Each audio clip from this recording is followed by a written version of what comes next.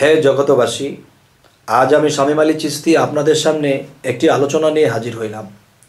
সেই আলোচনাটি হলো যে রাজ্জাক দেওয়ান একটা কথা বলেছিল, কিন্তু রাজ্জাক দেওয়ান তাকে কি বলা হয়? মাতাল রাজ্জাক। সে এমন কিছু গান লিখেছে, এমন কিছু কথা বলেছে কিন্তু তার নামের আগে মাতাল রাজ্জাক। মানে মাতাল হয়ে এই কথাগুলো বলেছে বলে মানুষে হয়তো তাকে দোষ ধরতে যায় নাই বা তার উপরে কোনো টর্চারিং করতে যায় নাই। কিন্তু আমার নামের আগে তো আর মাতাল নেই। আমি হলাম শামীম আলী চিস্তি এখন আমি যদি মাতালের মতো কিছু বলি, তখন কিন্তু এখানে বিশৃঙ্খলা হয়ে যেতে পারে। তাই আমি সেটা বলব না। তবে মাতাল রাজ্জাকের সেই কথাটা আমি বলব। সেই কথাটি হলো, তিনি একটা জায়গাতে বলেছেন, আকাম কুকাম নামাজ রোজা, একসাথে বান্দিয়া বোঝা রওনা দিছে দুজকে জানি না, এ ধরনের কথা হয়তো আমার মুখে মানায় না, তবে উনি যে বলেছিল, এই কথাটি আমি আপনাদের সামনে তুলে ধরলাম। তবে আমি ওনার মতো না বলি, তবে আমি কিছু কথা বলব। যে যারা কোরআনটাকে না বোঝে, পুরোপুরি না বুঝুক, কিছু তো বুঝতে হবে। কিছু না বুঝলে আল্লাহর ইবাদত কী করে করব আমরা? তো কিছু কিছু বুঝতে গেলে সেটা যেমন কোরআনে খুঁজতে গেলে দেখা যায়, বিরাশি জায়গায় আল্লাহ সালাতের কথা বলেছেন। বিরাশিটি জায়গায় আল্লাহ সালাতের কথা বলেছেন। আল্লাহ যদি একবার বলতো যে সালাত কায়েম করো, তখন কিন্তু পৃথিবীর সমস্ত মুসল্লিগণ, সমস্ত মুসলমানেরা সালাত কায়েম করবে। তো একবার বললেই তো হয়ে যায়, তো বিরাশি জায়গায় বলল কেন আল্লাহ? তাহলে বিরাশি জায়গায় বলার যে উদ্দেশ্য সেটা হলো যে সালাত কিন্তু এক প্রকার নয়। সালাদ বহু প্রকার। আচ্ছা বহু প্রকারের মধ্যে আমি কয়েকটা প্রকার তুলে ধরব। যেমন আল্লাহ বলেছে, তোমরা সালাদ কায়েম করো। এখন দেখা গেছে যে সালাদটা মানুষের রুকু সেজদার মাধ্যমে যে নামাজটি পড়তেছে, এটাকেই সালাদ বলে জানে। তাহলে এটা তো এক প্রকার সালাদ তাহলে আরও একাশি প্রকার সালাদ আছে।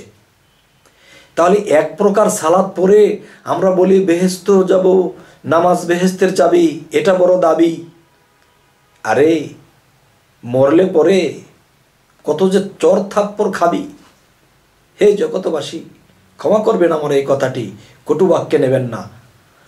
তবে যে বিরাশি জায়গায় আল্লাহ বিরাশি ভাবে সালাদ কায়েম করার কথা বলা হয়েছে।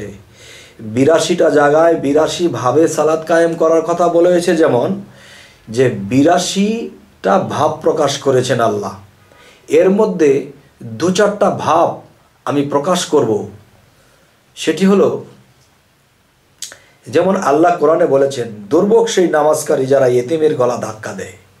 তাহলে এতিমের গলা ধাক্কা দেয় যারা, তাদের যে রুকু সেজদার নামাজ, এদেরকে দুর্ভোগ করা দেওয়া হয়েছে, দুর্ভোগে ফেলে দেওয়া হয়েছে। তাহলে এদেরকে যদি দুর্ভোগে ফেলে দেওয়া হয়, তাহলে সালাত এক প্রকার সেটা, তাহলে আরও একাশি প্রকার সালাত রয়েছে। একাশি প্রকার সালাদ সেটি কোনটি? এর মধ্যে কয়েকটা প্রকার যখন আপনাদের সামনে তুলে ধরব, তখন বাকি সালাদগুলো আপনাদের নলেজে এসে যাবে ইনশাআল্লাহ। হে জগতবাসী যেমন আমি রাস্তা দিয়ে হেঁটে যাচ্ছি, তখন দেখি রাস্তার মধ্যে একটা গর্ত হয়ে আছে। এখন এখান দিয়ে কত বৃদ্ধ লোকেরা আসা যাওয়া করে, এখান দিয়ে কত বাচ্চা পোলাপান যাওয়া আসা করে, এই গর্তের মধ্যে পড়ে যেতে পারে। তখন গর্তের মধ্যে পড়ে গেলে একটা বয়স্ক লোক হাত পা ভেঙে যাবে, একটা শিশু বাচ্চা এটার তলে পরে মারাও যেতে পারে। তখন আমি কি করলাম? রাস্তা থেকে, কিনার থেকে বা অন্য জায়গা থেকে মাটি এনে আমি জায়গাটা সমান করে দিলাম। তখন কি হবে? মানুষের দুর্ঘটনা হবে না। মানুষ এখান দিয়ে আরামে চলবে। মানুষ বিপদ থেকে বাঁচবে। তখন এটা একটা সালাদ কায়েম করলাম। এটা একটা প্রকার সালাদ। এ হলো এক। রুকু সেজদার এ হলো দুই। আরও একটি হলো, আমার পাশের ঘরে একজন ব্যক্তি সারাদিন ঘুরে এসেছে, কোনো কাজ কাম পায়নি, কিন্তু আমার ঘরে বস্তা ভরা চাউল আছে। তখন আমি দেখলাম লোকটা কামাই করতে পারেনি আজকে, ছেলে পেলে নিয়ে না খেয়ে থাকবে। আমার ঘর থেকে দু কেজি চাল দিলাম। বাবারে, আজকে আপনি পাক টাক করে খান, কালকে কোনো কাজ বাও করে নেবেন। এই একটা সালাদ কায়েম হলো? আচ্ছা। আবার দেখা যায়, একটা এতিম তাকে দেখার কেউ নেই বা একটা এতিম মেয়ে বিবাহর উপযুক্ত হয়েছে, গরিব ঘরের মধ্যে সে লালন পালন হইতেছে, কিন্তু মেয়েটাকে বিবাহ সাথী দেওয়ার মতন কোনো তৌফিক নেই। তখন নিজে যা পারলাম দিলাম, অন্য আমার মতো মুসল্লিকে ডেকে এনে যে আমরা কিছু টাকা কালেকশন করে দিলাম যে মেয়েটার বিয়ে দিয়ে দাও। এই একটা সালাদ কায়েম হলো। আচ্ছা এখন দেখা যায় আমি রাস্তা দিয়ে হেঁটে হেঁটে হেঁটে যখন যাচ্ছি, তখন দেখি একটা কুকুর পড়ে আছে। সে সে না খেয়ে জিব্বা বের করে হা হা করতেছে, পিপাসিত। তখন আমি একটু পানি নিয়ে ধরেছি, সে খেয়েছে। আমি দশ টাকা দিয়ে একটা রুটি কিনেছি, তাকে দিয়েছি। তখন সে খেয়ে শরীরটা নিয়ে একটু দাঁড়াইছে। কারণ আল্লাহ কি বলেছে? আমি সমস্ত সমস্ত জায়গায় বিরাজমান, তাহলে আমি কিন্তু মানুষের মধ্যে বিরাজমান।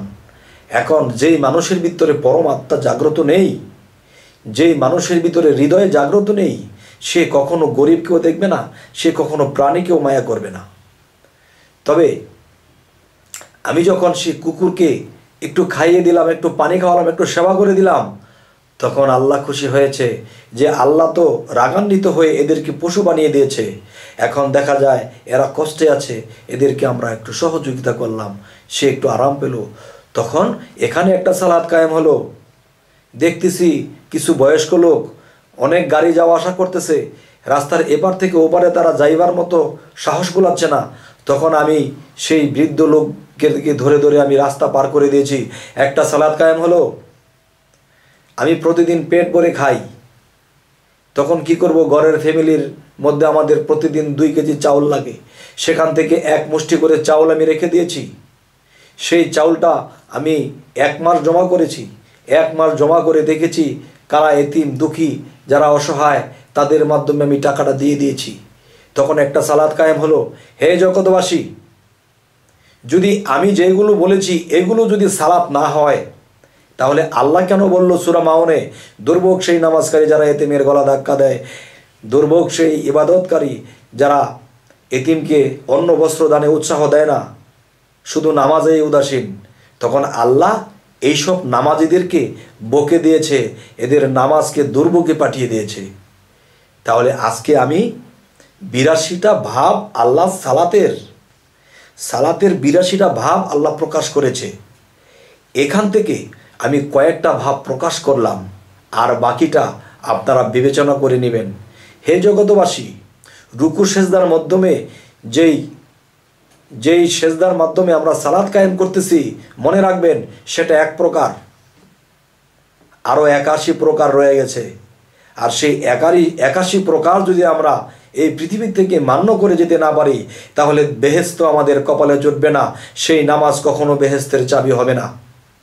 হে জগতবাসী জানি না আমার এই কথা আপনারা কেমন মনে নিয়েছেন, কেমন জ্ঞানে নিয়েছেন। যদি আমার কথা আপনাদের ভালো না লাগে, তবে আমাকে কমেন্টে জানাবেন। অবশ্যই আমি যে সব জেনে ফেলেছি, শিখে ফেলেছি তা নয়। এমন এমন ব্যক্তি আছে, এই ইউটিউবটা দেখতেছে, তিনি আমার থেকেও অনেক জ্ঞানী হতে পারে। তার কাছেও আমার শিক্ষা নেবার আছে। আর শিক্ষার জন্য কোনো ছোট বড় নেই। তাই আমি ইউটিউবের মধ্যে এই কথাগুলো দেই। তাই এই মানুষ যদি এই কথাগুলো শুনে কারও জ্ঞানে ধরেছে, কথাটা রেখেছে, মেনেছে, আর যদি কারও জ্ঞানে না ধরে, সে যেন আমার সাথে পরামর্শ করে। তবে হ্যাঁ গিবৎকারী মৃত ভাইয়ের মাংস খায়। যে সুরা হুজরাতে যদি আমরা যাই, পাওয়া যায়, যারা গিবৎকারী তারা মৃত ভাইয়ের মাংস খায়। তাহলে যারা মৃত ভাইয়ের মাংস খায়, তাদের সালাত, তাদের কোনো কিছুই আল্লাহ কবুল করবে না। তাহলে আপনারা কেউ গিবোধ করবেন না। হয় আমার সামনাসামনি হবেন, আমি আপনার কাছে শিখব, না আমার কাছে আপনি শিখবেন। কিন্তু মৃত ভাইয়ের মাংস বক্ষণ করা হয়ে যাবে যদি আমরা গিবোধ করে ফেলি। একজনকে বন্ড বলি। ওনাকে খারাপ বলেছি। যে একটা বিষয় সামাজিকভাবে যে ভণ্ড, আরে ভণ্ড শব্দের অর্থ কি জানেন? ভণ্ড ভণ্ড যিনি, যার ভিতরে খারাপ গণ্ডগোল তাকেই তো ভণ্ড বলা হয় এবং সেই ভণ্ডের ভিতরে চণ্ডবিণ্ড জেগে ওঠে। যেমন, কাফেররা ভণ্ড, কিন্তু কাফেররা কোনো একদিন মোহাম্মদ সাল্লাহ সাল্লামকে ভণ্ড বলেছিল। তখন কিন্তু চণ্ডবিণ্ড মোহাম্মদের উপর দিয়ে জেগেছে। মোহাম্মদ সাল্লাহ সাল্লাম পৃথিবীতে প্রকাশ হয়ে গেছে, কিন্তু কাফেররা জাহান্নামের দিকেই আছে। যাই হোক, হে জগতবাসী আজকে সালাদ সম্পর্কে কিছু আলোচনা করলাম, যে এই আলোচনা আপনাদের অন্তর কতটুকু ছুঁয়েছে, নাকি ভালো লাগেনি, অবশ্যই জানাবেন। এবং আমাদের এই চ্যানেলের আলোচনা যদি আপনাদের ভালো লাগে, অবশ্যই সাবস্ক্রাইব করুন, পরবর্তী আলোচনা যেন আপনাদের সামনে উপস্থিত হয়। তো আজ এ বলেই রাখছি, সকলেই ভালো থাকবেন। আল্লাহ হাফিজ।